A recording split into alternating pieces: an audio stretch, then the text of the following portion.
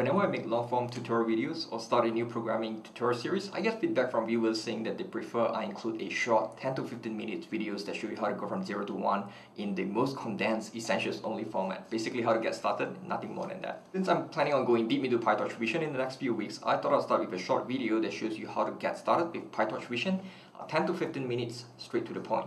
You will have to start by googling for some nice images to use and we use a pre-trained computer vision model in PyTorch to predict the class of the image. Now I'm living in Indonesia so I want to use pictures of animals that are native to Indonesia. If I just did a quick Google search, type in Indonesian native animals, I get a few animals, Komodo dragon, orangutan, so I'm gonna stick with these two. Also, how could you not? If you search for orangutan, they look absolutely adorable. And look at this baby. How cute is this? Now, I want to say, depending on the pre-trained model, you might not have a very precise classification because either the model was not exposed to images of Komodo dragons specifically that, or it was not exposed to images of orangutans, or that maybe the model was exposed to them but they were labeled as just a, a bigger group of like lizards or giant lizards or monitor lizards, or, or instead of apes you get uh, instead of orangutans, you get apes or you get uh, gorillas and chimpanzees and stuff. So you might not get a very precise classification, but I'll be using ResNet, so while it might be challenging, I'm counting on it to make the distinction between orangutans and gorillas and chimpanzees and gibbons and bonobo, etc. Basically just adding a layer of challenge beyond is predicting that the image contains animals of an ape. If you've never heard of the Komodo dragon or the orangutan, do a quick Google search and maybe put Indonesia on your bucket list for a future trip. And once you've found some sweet images, refer to the first video in my PyTorch GPU series to see how to get PyTorch and Torch Vision installed with GPU enabled on your computer. That's the only other dependency you need. You can follow along with this video just fine. Let's go ahead and create a Python script or Jupyter Notebook.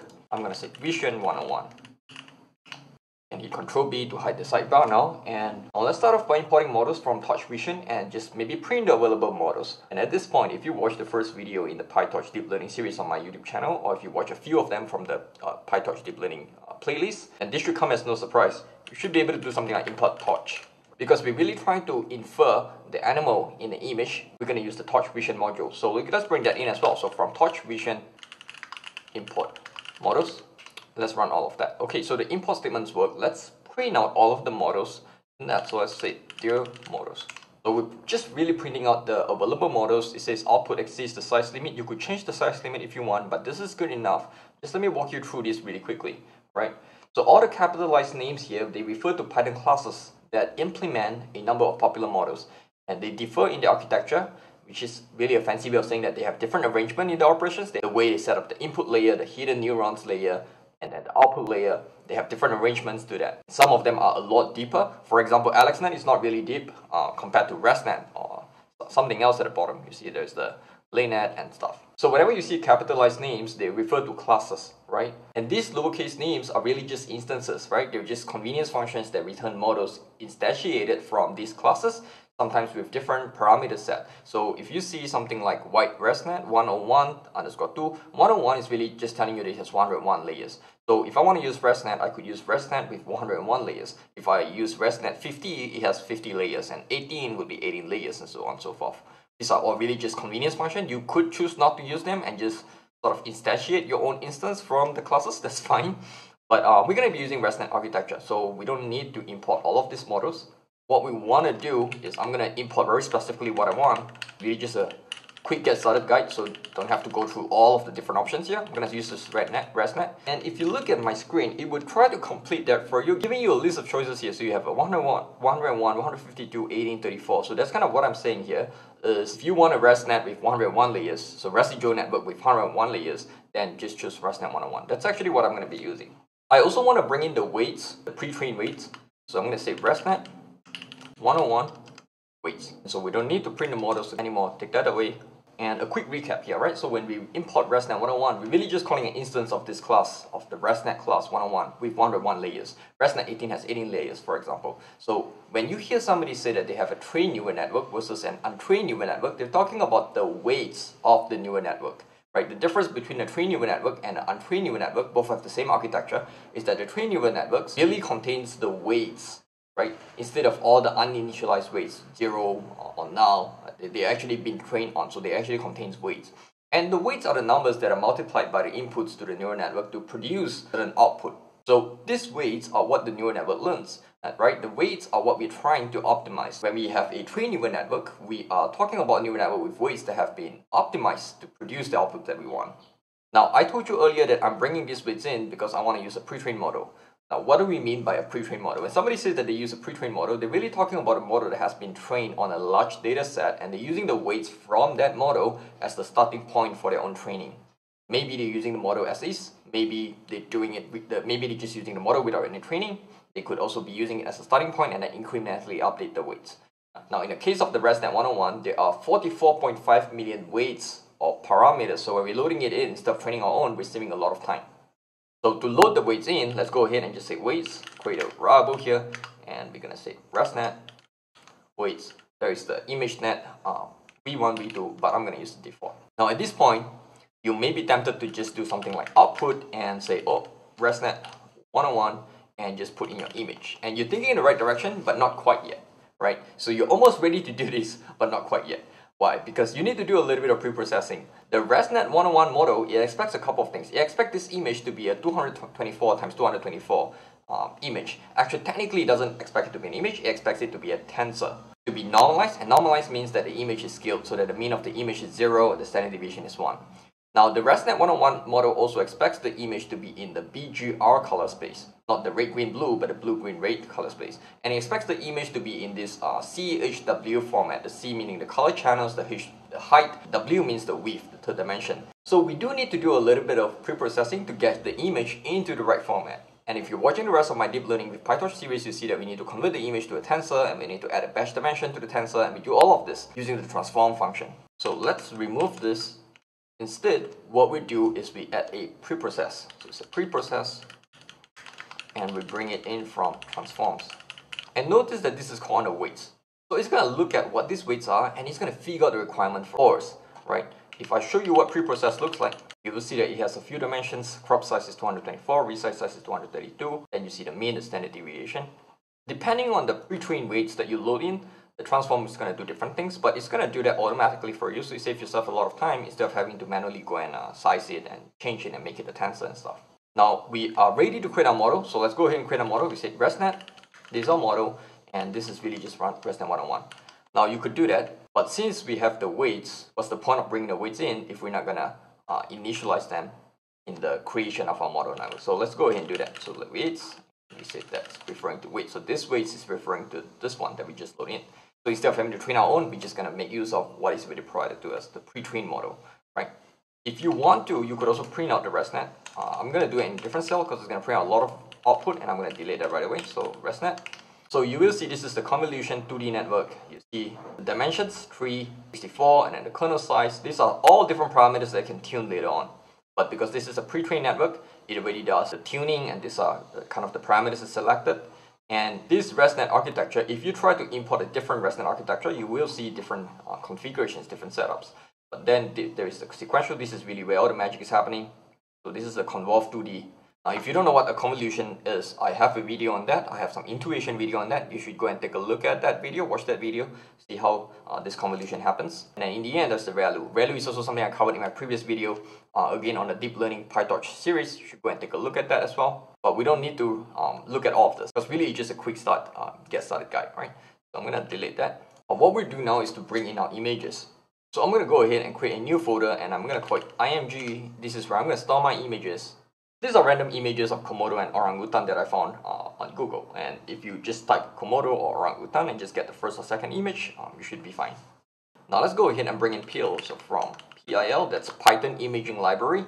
Let's import image. And then we want to just read that image in. So we're going to say image uh, image.open. This is actually really simple. This is, uh, you know, if you want to learn more about computer vision, go and watch my other videos. Uh, but I'm gonna just bring it in. So what do I name it? I name it orangutan.jpg. So I'm gonna say orangutan.jpg. Let's just print out image just to see that my image is good. I don't have the copyrights to these images. This is what I found on the internet. Um, look at this cute guy. Now we did the pre-process here, right? We said go and figure out what we need to do in terms of pre-processing and it figured that out. It says this is it, pre-process. So what do we do? We take this pre-process and we apply that to our image. So uh, sounds really simple, so let's go ahead and do that. Pre-process, apply that to image, and then we want to change the shape a bit. If I show you what it looks like now, right? It looks like 324, 24. What we really want is we want to take this and we want to change the shape a little bit so it looks like this. So we add a 1 in front and then 3, 224, 224. 3 referring to the three color channels, the blue, green, red, and then the 224 and the 224 is the height and the width. So let's go ahead and just name it batch. And if you want to, you could just print the batch shape just to confirm to yourself that you're doing the right thing. This is what it requires. Now with PyTorch, some models use modules that have different training and evaluation behaviors, such as when you do batch normalization. Now because we want to run a model in evaluation mode, we want to say something like ResNet, that is our name of model and we want to say eval. We put this into the evaluation mode to ensure that the modules is running in evaluation mode as opposed to running in training mode because we're not doing any training, we're just trying to evaluate this image. We say, hey, take this pre-trained model with the pre-trained weights, right? This is the image, just evaluate that and tell us uh, what it look like. So running this, put this model into the evaluation mode. Let's run that. Okay, and once it's done, let's create our prediction. We still haven't really applied the model. We're just putting them into evaluation mode. But now to really apply the model, we just have to say ResNet, and we apply the model and say this is the name of the batch. So this is really what we name it here, right? Batch. And if you apply that, you're gonna get all of this tensor. But because we did the squeeze, so let's go ahead and do a squeeze. What we want is to apply a softmax there, get into some sort of probabilities, and we can now save this to a variable called prediction. You want to print the shape of that, you can just do that. See 1000 prediction. Why? Because there's 1000 different classes. So what do you want to do is you want to figure out what is the ID with the maximum probability. So you say argmax for that, right? This is something we covered before. So you could say something like the class ID that we predicted, that we're predicting is out of this 1000 different prediction, which one has the maximum probability? So you say argmax and um, let's actually see what it gets. It says class number 365 has the biggest probability. This, mind you, is a tensor. So how do we take tensor and convert that back to a Python numeric, just a simple numeric? We just have to put item. So this is gonna convert the tensor 36, tensor 365 to a simple uh, integer 365. So say item. Now it's 365. That's good. And what we want to do now is to say predict the class of that. So we can say prediction but what you want is number 365. Take that and again, I want to make sure that it's just a Python object and not a tensor. So we're going to put item again. Let's run that. Okay, this prediction is a 1000 length tensor and you're taking the 365 index of that tensor and the probability of that 0.74. So that is the highest probability. So the remaining 999 all have a non-zero probability, somewhere close to maybe zero, but it's most likely this class. Right, so let's take a look at what that class is. We can go ahead and just say print. We add print statement. We set this class ID, and we can add a score. Now the score is something we've done already. Just here, let's just assign that to a score. In here, we put score. Here, we could use the weights that are right up there. There is the rates. And in weights, there is the metadata. So we say meta, and we find the categories. Now what do we do? We say take the 365. So 365. But really, we don't want to hardcode that. We want to say class ID. That should print it out for you, and it's an orangutan. So class ID is orangutan. If you just think about all the different kind of uh, apes that are in there, right, let's take a quick look at all the different weights meta categories. So let's pick this, and I'm gonna index maybe around 355 to 375. Now, again, this ResNet architecture, it has been trained and it has 1000 possible outputs. There's 1000 different classes, right? We're only gonna take a fraction of that. We're gonna look at only the categories within this index bound of 355 to 375. Let's run that. Now there's a llama, there's a weasel, a mink, polecat, black-footed ferret, otter, skunk, badger, armadillo.